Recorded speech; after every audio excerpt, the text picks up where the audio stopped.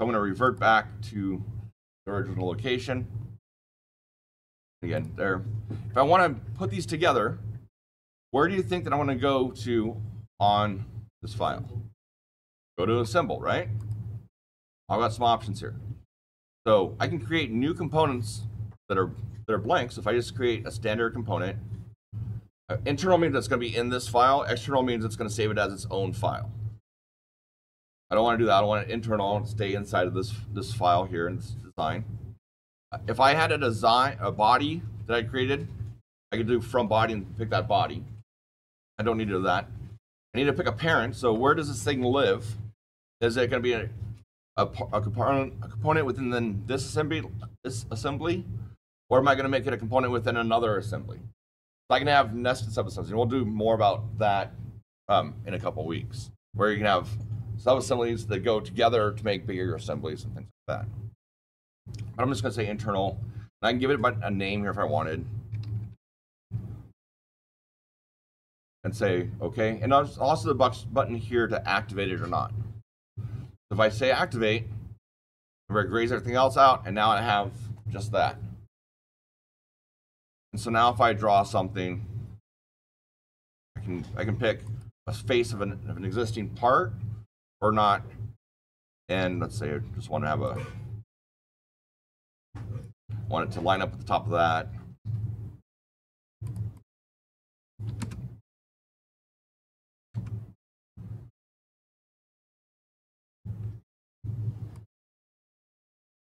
See if that has all that, all that stuff selected. So I just want to select here and make all that construction make that line construction too. So that way I just select my my thing. And when I extrude this, whatever. If I want just this component to be this, since I already have the component made, I can make this just a body. If I make this a component, it's going to make another component underneath this component. You can see that symbol changed there on, on test. It changed to being a subassembly. Because now I'm making a component within that component. If I tell it to be body, now, now it's just going to be the body of that component. So it goes back to just being a single component. I can say OK. If I go back up here, I can click on this and see everything again. But within each component, there's always going to be a folder for bodies with a body. The component is just like a container, but the body is the actual solid model. Okay, the body is a solid model. Component is a container that can contain bodies or other components to help kind of organize things. Kind of, yeah. but the, the component is what we can use to relate to other components. Bodies are just where they are. A body is a body, it's just they're part of the thing.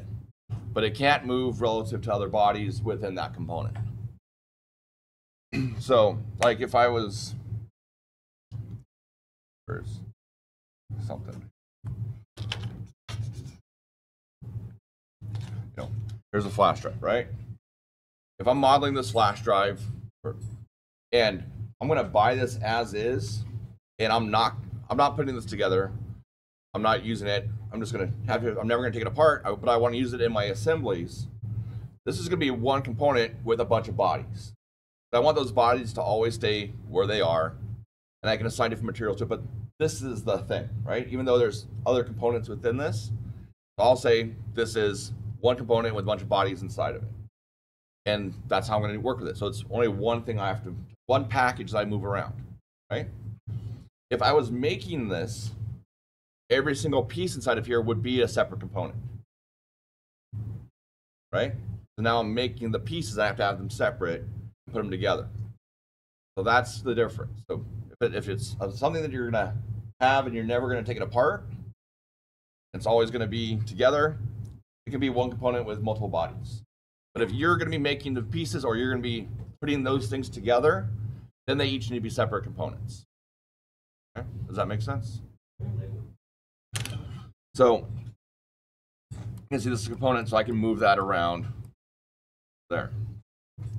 But if I want to start putting things together, this thing right here, so if I look at a symbol, I have joints.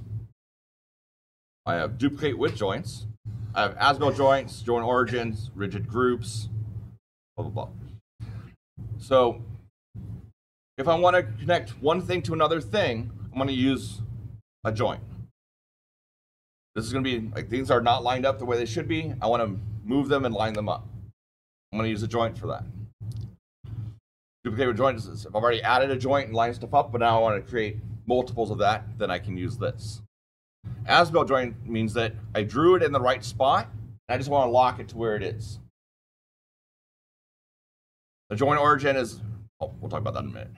And a rigid group is I have a bunch of stuff that's already different components, but I want them to stay together the way they are.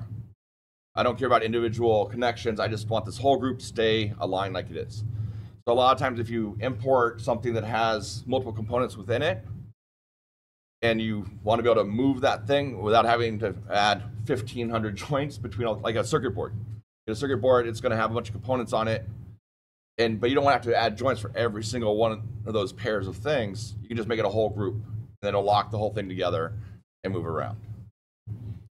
And so that's what what that is. Um, is there anything here that I have drawn already in the correct spot? No. Didn't I just draw this in the exact spot that I want it to be? This component here, the test piece, didn't I draw it on the face of this? And I told it to line up with the top edge. So I drew that exactly where I want it to be. So I can just tell it to use an as-built joint between this component and that component. And by default, the type of joint is a rigid joint. So it means that those things are not going to move. If I hit preview motion, ensure that like that thing can't move, it's just gonna stay there. I can say okay, and now if I grab this, those things are stuck together. Take note to go back to where it was. So some of the other types of joints, and we'll get to them. If I go, now I want to put this on here. Set up for these rails where these little nubs supposed to go in those holes. And so I'm going to go back and I'm going to tell it that I want to create a regular joint. So now it's going to ask me for my two components. And on those components, I can pick how I want my origin. So how do I want to grab this thing? And so you can see it's got a little, on the preview, it's got a little circle. They got a little, it's got a little filled area, and then the, the yellow or the the blue, green, and red axes, right? And so when I pick on a part, it's going to make with that circle. So when I pick on one component, I'm going to have that circle. I'm going to pick the other component, I'm going to have that circle also. And it's going to take those two circles and stick them together. So if one circle's this way, one's this way, it's going to flip it over and make it line up. So I can either do it just using this mode, and if I do that, you can see I come over to this part. If I'm on the face, I just see the symbol. But if I kind of move close to the midpoint of an edge, a corner, or the center of the face, it's going to snap to that thing. If I'm on an edge, look at it now. It's oriented perpendicular to the edge. And again, I can slide it there and snap it to the middle or to a vertex. I go on this face, it's lined up with that face now. If I'm on a flat face, it's going to line up with the face. If I'm on an edge, it's going to be perpendicular to the edge. If I just click in some spot here where it's not near one of the snaps, now if I just move my mouse around, I'm not holding the button, I can move the mouse, mouse around and kind of tell it which one I want to go to. So sometimes if like the center of the thing is in, in, a, in a hole or something, you can't grab onto that just by clicking it because it's not selecting the face anymore. You can just pick the face and then go over to it. Okay. I can also do between two faces. So I can tell it to between these two faces here. And now for the snap, I can tell it where I want to snap. So now same same things, the center of the face, the top edge, you know, the corners, whatever. But it's going to make it halfway between the two faces but lined up with the two faces. Or I can do it two edges, so I can pick two edges here, and it's going to put it where those two edges intersect. Usually, we'll use the simple one. But sometimes that the between two faces is useful for centering things, things like that. Okay, that make sense? So let me stick this over here. So I'm to grab just the center of that hole, right? That's a good. We line stuff up with holes a lot of times, right? To make a screw go through. It needs to line up the hole. I'm going to grab the circle there. And just to show you that you can, it'll flip things around, I'm to grab the circle there. And uh oh, it didn't. It didn't flip it. It just moved it over. But there's a flip button here. Flip. Now it flipped it. Now instead of those two faces, those two circles lining up with each other, now they're opposed to each other. And then I can use this handle here and rotate it around so that it's lined up the way I want it to be lined up. Okay? Does that make sense? So now say OK. And now it won't move. Why won't that move? But, what, but when I had this one to it, it would move. Yeah, because this bar is grounded, right? So this one cannot move because it's it's grounded. Here. Now this stuff can't move. I'm going to go back in, edit that joint, and show you some of the other options that we have. So by default, the connection type is a rigid joint. So it locks down all six degrees of freedom. So things can have what we call six degrees of freedom. It can move in three axes, and it can rotate around those three axes, right? So it can move in the XY plane or rotate around the, the X axis or the Y axis, or the axis or whatever, right? So we have to be able to, to lock it down in all, all ranges of motion. So the rigid locks down all of that, the location and rotation all at once. I can also set a revolute joint, where now it's setting up, it's locking the position, but it's allowing it to revolve around one axis. And it could be whichever axis I pick. So that's probably not a, a useful one, right? The z-axis is usually the more useful. Can't really rotate that way because it's going to run into stuff. But I could tell it I want it to be around the z-axis. And now I can take this part and I can drag it around and see how it moves. Because if I just put a screw through there, right, it would be able to do this. Except you know, it has that thing right there. But then I can revert it, and it goes back to where it should be.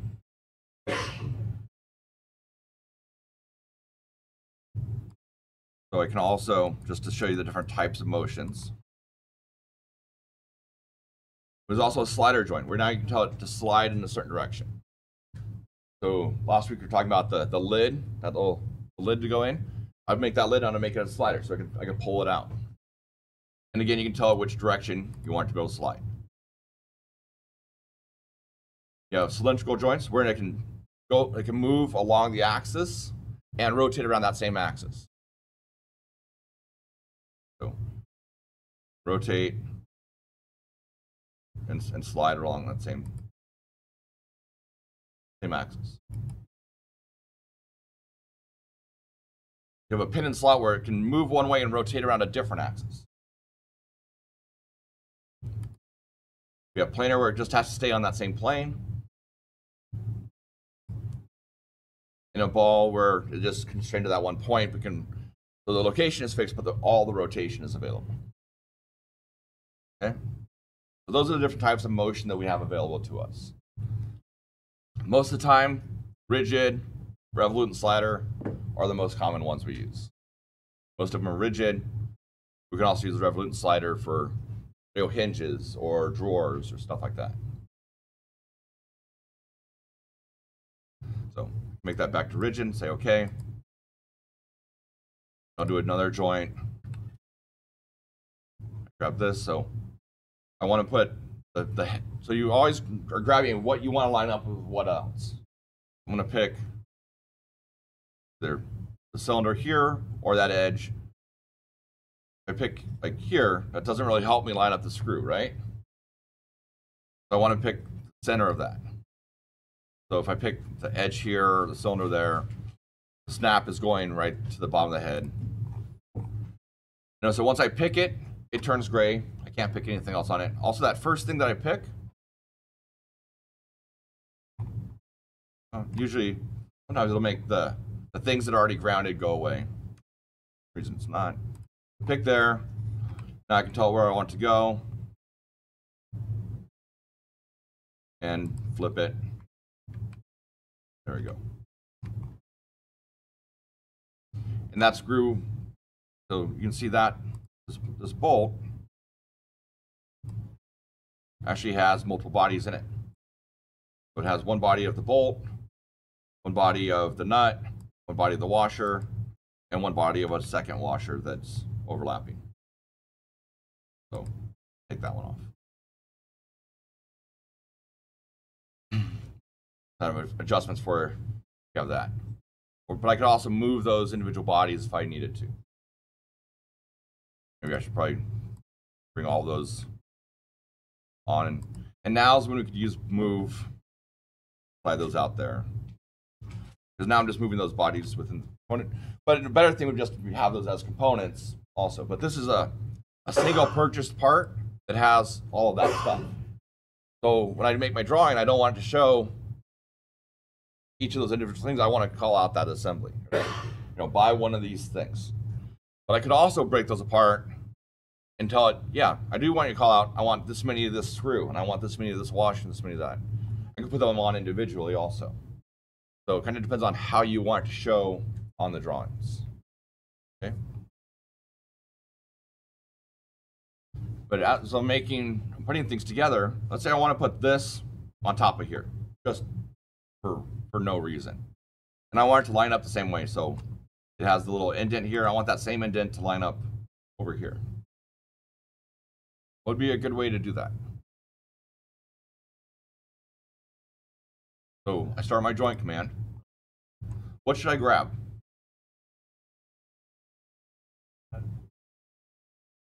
Something on the top face, right? So something that, you know, is going to stay the same. So maybe the middle of that edge right there, right? Sure. That's an easy thing to see. If I pick here, that corner, that's fine. But I have to pick that same corner over here. So it would have to be that corner, right? Okay. That's a thing where sometimes it's easy to, to pick the opposite side. So if you're picking middle things, it becomes a little easier because the middle is always the middle, right? Know it's the middle there, middle there. If I pick here, is it what's is it gonna give me what I want? No, because it's pointing sideways now, right? I want to make sure that I'm pointing the same direction. So it comes over so that I can just rotate it. If I had picked here, now look at it. I can rotate that way, but I can't change which direction it's facing. So give her just X out of it, pick that top center piece, and then rotate it so it's aligned the correct way. And you're pretty much gonna have to do that on all of them. You're either gonna have to flip it or rotate it when you're putting stuff together. So just no, okay, I'm gonna I pick what I want to go together, and now I can rotate or flip as needed to get the right thing. Okay. So here, I want a new one of these.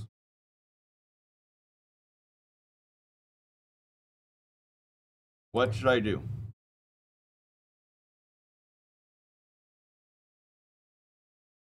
So I want another one of these pieces. So I can right click on it and see my options. Uh, I've got a copy here. So probably want to do that. This is also where I'll use, so we can just Control C, Control V, put it in. Or I could use the move and copy here.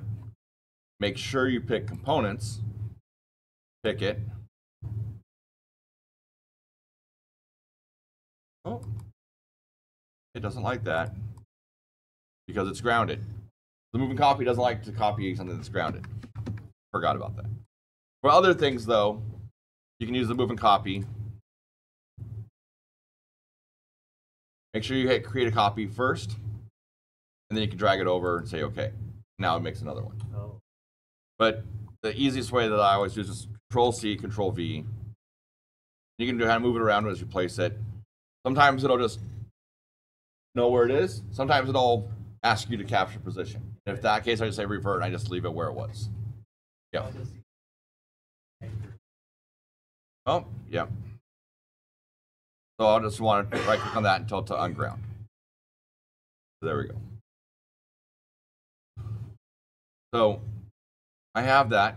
But what if I want this one to be shorter? How can I make this shorter? Because right now it's four feet long. I only want it to be three feet. Yeah, I can just go and extrude and grab the end of this and just negative 12, right? Uh oh. What?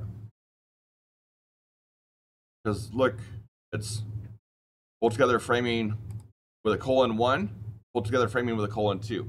Components are always identical to each other. So maybe that's not what I want to do. So I'm going to take that out. And so this is where bodies come into play. Because within this, I have a body, right? So if I just make a new component, I'm just going to make it up there and call it short rail. And I don't need to activate. I'm just going to say OK. Now I have this. That new component has no bodies. Okay? But I can take this body here, copy it, go onto this component, and paste it. So now I can just turn this one off.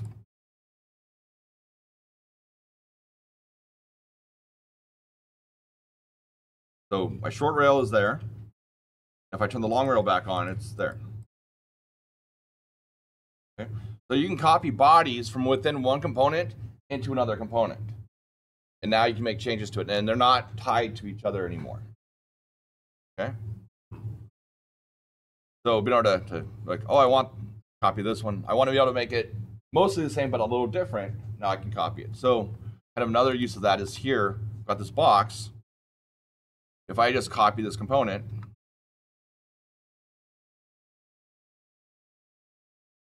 then I add a, fillet to it. Both of them get the fillet, right? I right click on it. I don't have any option. If you have the history turned off, there's an option called make independent. But if you have the history turned on, that option's not not here. But let's say I want another copy of this, but I want it to be, I still want to have this fillet, but I want to add an extra hole to it. Now I can create a new component under the parent there. Call it. So no bodies within this. So I can just go here, grab this body, copy it, go onto this one, and paste it. Now I can move that new component. There's new over there. Okay? So just for this, I want to capture it just so we can see. And now I put a hole in this one. Doesn't affect those. But if I go back in time and edit the fillet, it does carry through because that fillet was made before I copied the component, right? I copied it here, but the fillet was made there. So even if I go back in time for the copy, and now I put a hole in on this side,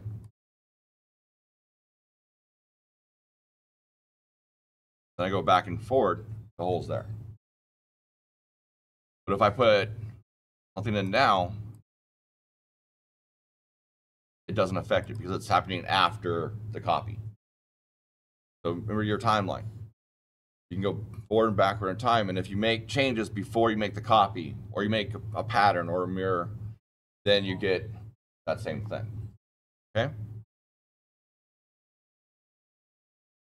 So also on these, as we're working on things, say, have this whole so that way it's not even, right? if I want to make a, if I want to use a second one of something and it's going to be exactly the same, I want to make sure I copy that thing. Right? So if I want multiple of these or multiple of these, now copy paste, put it in, the exact same, right? And so it's new one, new two. So, but if I, you know, started pattern, if I um, mirrored this to the other side, no, mirrored this one that's the same, so that go all the way through, right? So if I did a mirror of this one across there, these two are still identical, right? But look at the name. So it's component one and component one mirror. So now if I put it in my, my, my drawing, I go back to my drawings here, those would show up kind of like this page where each of those would be a different thing. Even though they're exactly the same. It wouldn't add the quantity like on this page where it's one, one component with three instances of that component. But on this one, where it is, I do want a left and a right side version, then I would want to do that. Because then I would, I could have this new left and then I'd have new right.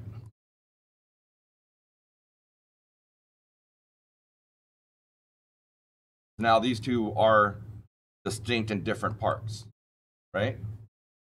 Now I wanted to have new left. Call that new right. Right? So I'd, I'd name it something like that. Because these are two distinct parts, they're not the same. But if I go back before the mirror and make any changes to one, it's going to affect the other. Right? If I go up here and add another hole in here, it's going to affect it there. Okay?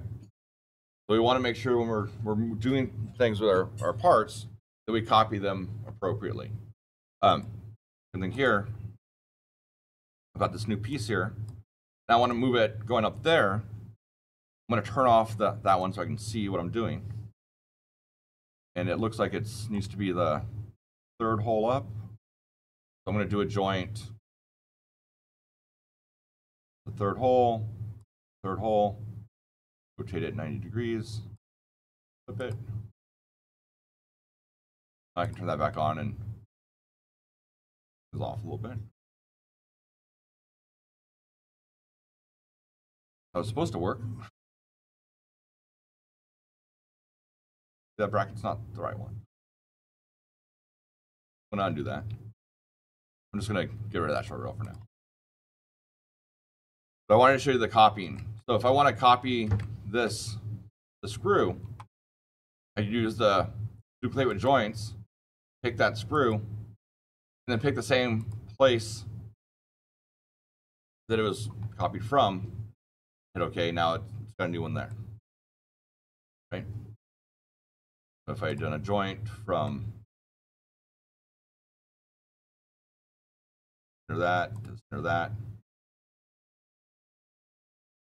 I could copy joints, that screw, the center of that thing, and uh oh, it's going the wrong way. Sometimes it does that. But there's a little free icon here, and just say flip. The little flip buttons there at the end. Now it's going the right way, and there we go. Okay. So we want to just for when we're making copies of things, we want to, to actually use the copy command. If it's exactly the same, copy it, or use the duplicate with joints. Um, if I do a pattern of it, or pattern the component,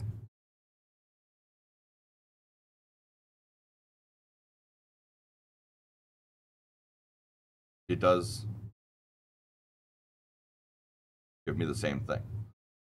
So there's colon two, colon three.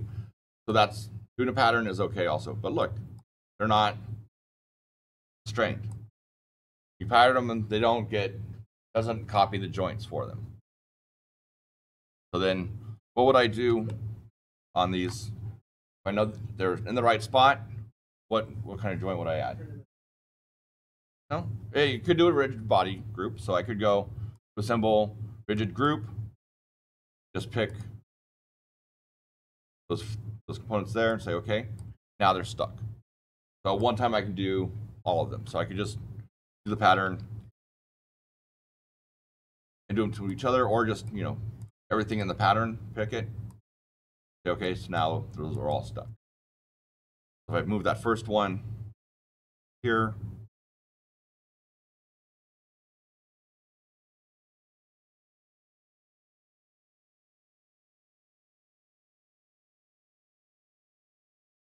those all move with that one. I could do that. Any questions? No? All right.